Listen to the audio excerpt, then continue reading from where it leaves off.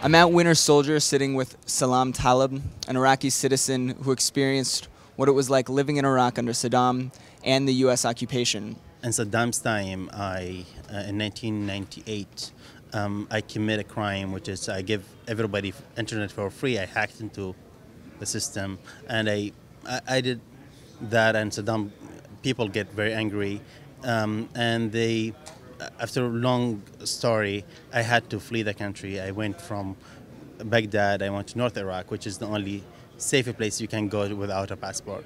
In 2003, uh, the war happened, and uh, I have no uh, job as computer engineer. So what I did, um, I worked as a translator for the journalists because I speak a little bit of English at the time. And then I became journalist myself when the lack of journalists happened in Iraq that uh, it was too dangerous for them to come. So I was doing it myself. Um, then um, uh, I have a uh, direct threat and I was shot at and my friend was killed instead of me. So I had to um, to leave Iraq and uh, and now I'm in U.S. What is your view of the soldiers who come back and testify to these atrocities?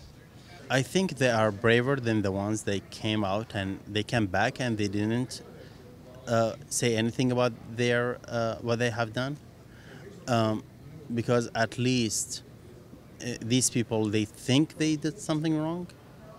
Um, in a human level, forget our politics.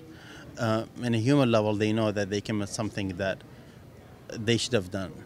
As someone who's seen the occupation firsthand, do you think the U.S. occupation of Iraq has made Iraq safer?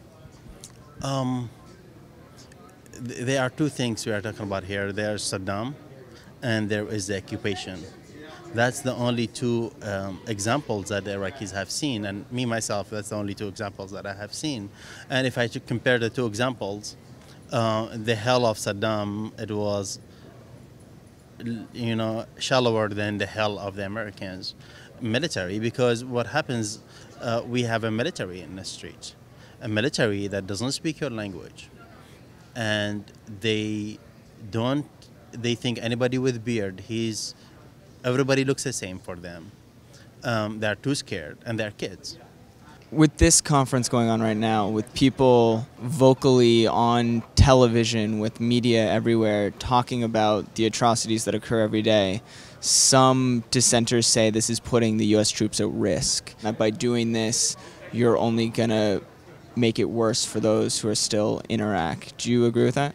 Um, I have just one answer for that, which is um, the difference between knowing and not knowing it's between being Iraqi or American.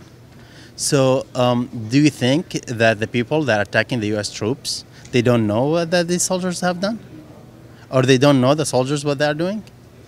Every single child in Iraq knows that. Every single child have seen it. It's in every single street. You don't need a, a soldiers to come out in the media. These soldiers they're not telling the Iraqis; they're telling the Americans. And they're not telling them really what's going on. They are telling them 10% of what's really going on. So they, they will put the, the U.S. in, in danger. The U.S. or these troops are already in danger. They are already in danger because they are doing these things.